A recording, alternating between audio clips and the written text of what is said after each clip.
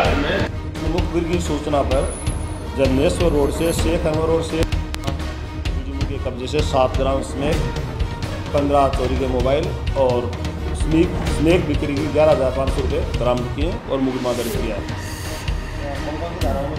है आठ बटा की नहीं नहीं इसमें तो लिख के रेस्ट नोट में।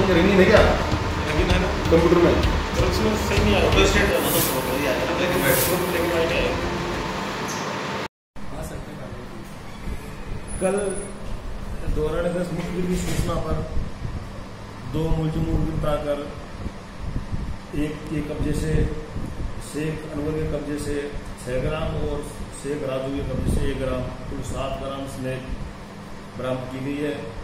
स्नैक बिक्री की राशि भी उनकी से बरामद की गई है और जो नशेड़ियों को स्नैक के बदले पैसे देते हैं या चोरी के मोबाइल लेते हैं वो भी मोबाइल भी बरामद किए गए हैं।